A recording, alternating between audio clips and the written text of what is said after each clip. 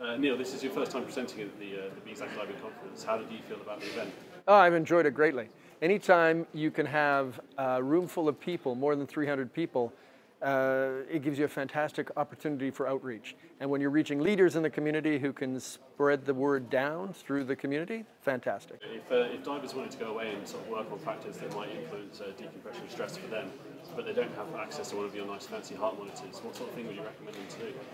Well, you, if you recognize the various factors that can influence your stress, if you make tiny incremental changes in the right direction on each of them or many of them, you don't have to do a lot of monitoring. You can protect yourself. So if you're a little bit smarter about when you do your stops, a little bit smarter with ascent rate, careful on the timing and intensity of exercise, you can control the risk without the direct monitoring.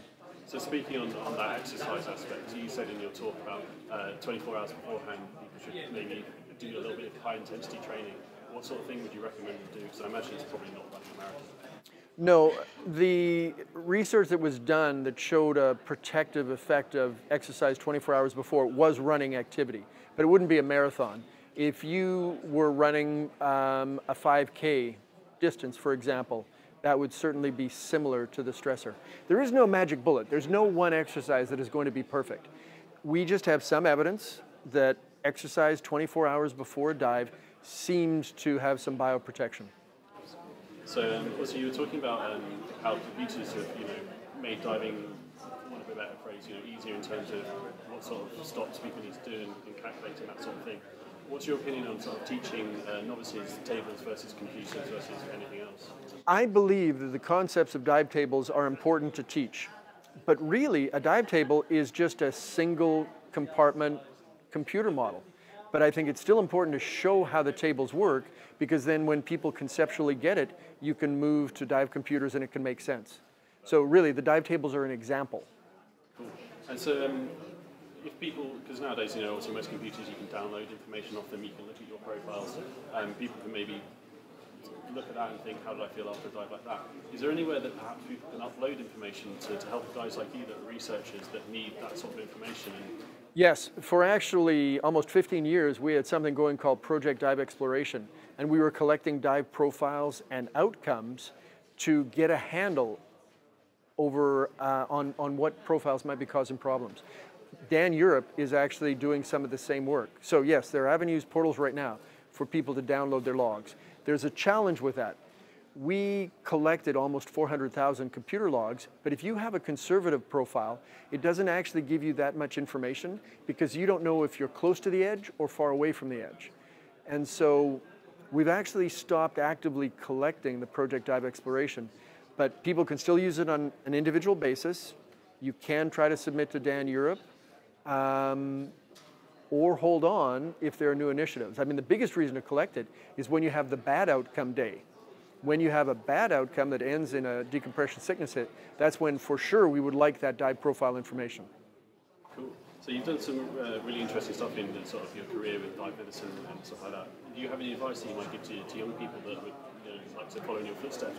Yeah, the biggest thing you have to do is say yes to opportunity and do a good job and each opportunity leads to the next opportunity. So a lot of times those first opportunities don't look quite as appealing as they might, and they almost always involve more work than you would expect. But if you say yes, do well, you can build a career out of that.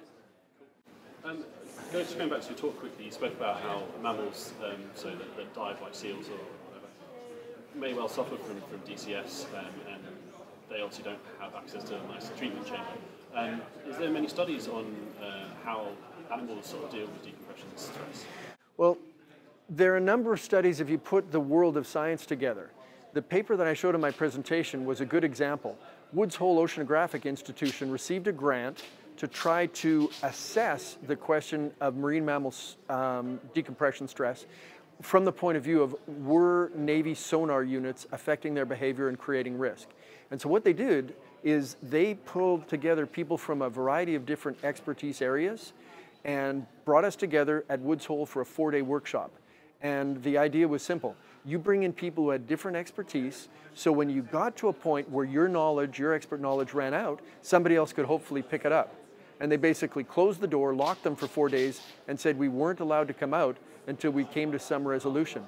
And it was really powerful. We had engineers, we had physiologists, biologists, people with different skill sets that were able to address questions. We would get to a point where we didn't know what the marine mammals would do, but a marine mammologist would say, well, no, actually, wait a second. We do know that from our research. And we were able to see that the marine mammals are doing essentially decompression stops. Some of the deep divers come up, they do a shallow hold before they hit the surface. It's beautiful, and we would have never seen that if we didn't have a bunch of different experts in the room.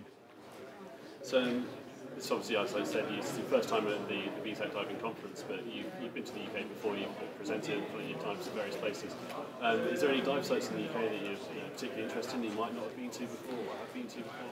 Oh, well, there are so many that I haven't been to. Uh, the last dive site I dived in the UK was Stoney Cove, which was good fun because it was December and we were trying to look at the impact of an undergarment. So we went in and flooded dry suits and swam around for an hour.